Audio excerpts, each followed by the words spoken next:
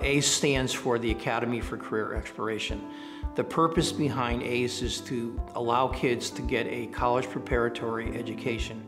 We want them to understand now what are they passionate about, what are their innate skills. We need to change education so that it teaches our kids to find their own answers. They have complete control of where their destiny goes. You have to condition yourself to be constantly learning. If you just stick to one thing, then you're not gonna go anywhere in life. There's more things you need to learn.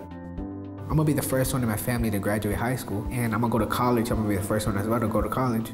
We're beginning career preparation in grade 9. Our students will leave not only with a high school graduation, but up to seven college credits. You're doing hands-on, hands-on work is better than any other type of work because you're actually doing it yourself. You see what you're doing, you see what other people are doing. It's not like just reading a book where you think you know what you're gonna do, and then when you go do it, you, don't, you have no idea what you're doing. So we're asking the teachers to leave their comfort zone from just purveyors of knowledge to become facilitators of knowledge. So the role they play now is like almost a uh, orchestra leader and they make it into a beautiful, harmonious song. For them.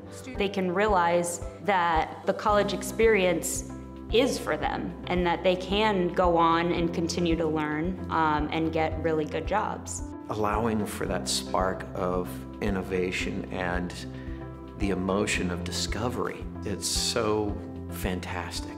You know, I've been an educator for 37 years, and to see those eyes light up, and you know that you might not make a difference in 200 kids' lives, but if you can make a difference in one, then you've done your job.